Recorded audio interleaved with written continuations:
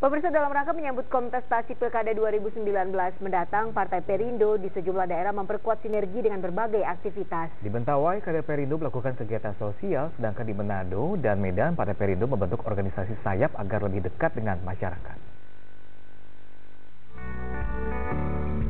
Menyambut pesta demokrasi yang sudah di depan mata, seluruh kader Perindo menyiapkan diri untuk pemenangan pemilu 2019. Di Mentawai, Sumatera Barat, ratusan kader dan simpatisan melakukan pertemuan untuk mengatur strategi pemenangan pemilu legislatif serta penguatan basis Perindo di seluruh wilayah kecamatan di Kabupaten Kepulauan Mentawai. Tak hanya itu, dalam pertemuan tersebut DPD Perindo Mentawai juga menyalurkan bantuan kepada petani dan nelayan. Bantuan ini diharapkan dapat meningkatkan hasil pertanian dan tangkapan ikan di Kecamatan Sikakap. Masyarakat kita di Pulau Sikakap sangat optimis ya dengan temu kader. Ini salah satu antusias masyarakat bahwa mereka percaya dengan kehadiran Partai Perindo untuk bisa uh, menang di Pileg 2019.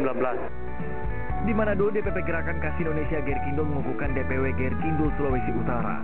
Organisasi saya Partai Perindo ini diharapkan semakin eksis di tiap daerah sehingga dapat membantu pemenangan partai di pemilu 2019.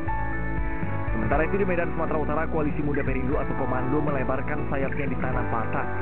Komando secara resmi membentuk kepengurusan mereka di Sumatera Utara. Kepengurusan ini diharapkan mampu menjadi pionir pemenangan partai baik dalam Pilkada 2018 maupun Pemilu 2019. Paling tidak eh, dengan semangatnya anak-anak muda, segmennya pelajar mahasiswa, kami ini sebagai anak-anak muda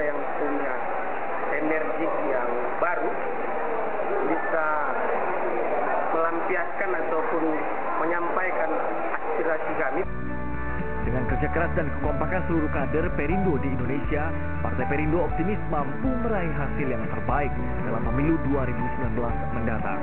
Tim Liputan News melaporkan.